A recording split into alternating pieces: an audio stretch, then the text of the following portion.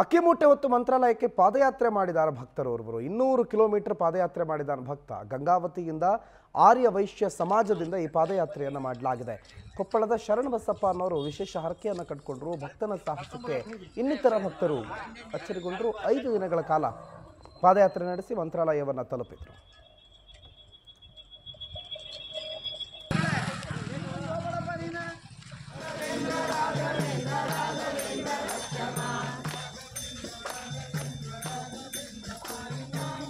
ತಾಲೂಕಿನ ಶರಣಪ್ಪ ತೊಂಡಾಳ್ ಅವರ ಒಂದು ಈ ಕನಿಕಾ ಪರಮೇಶ್ವರಿ ದೇವರ ಆಶೀರ್ವಾದದಿಂದ ಅವ್ರ ಊರಲ್ಲಿಂದನೇ ಒಂದು ಅಕ್ಕಿ ಪಾಕೆಟ್ ತಗೊಂಡೋಗಿ ಆ ರಾಯರಿಗೆ ಮುಟ್ಸ್ಬೇಕೆಂಬುದು ಆತನ ಒಂದು ಅಭಿಲಾಷೆ.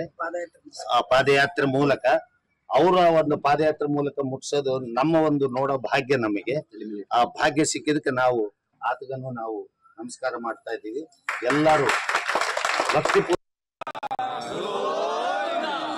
ವೆಂಕಟರಮಣ ಗೋವಿಂದ. गंगा परमेश्वरी माता की। जय। वासवी माता के।